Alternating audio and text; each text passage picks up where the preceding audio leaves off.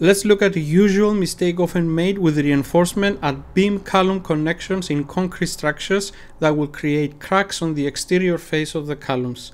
This is something that should be avoided at all times and involves placing the beam reinforcement outside of the column ties. In this video, I will briefly demonstrate why this happens with different methods how to avoid it.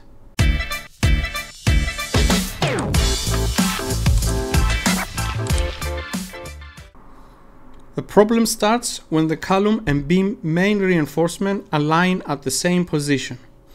Placing the beam reinforcement outside of the column ties, especially on the exterior, should be avoided. This is something that should never ever be done. The reason is obvious. The bars are left free to move, creating cracks that will allow moisture and water to penetrate. Let's have a look at possible ways to avoid this unfavorable result. We have prepared detailed drawings featuring several configurations of beam column connections that can be found using the link provided in the description below. Our first option is to bend the bars towards the interior of the column, inside the column ties.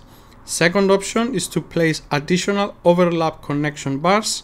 And the third and best option will be to make the column larger than the beam or the beam smaller in width.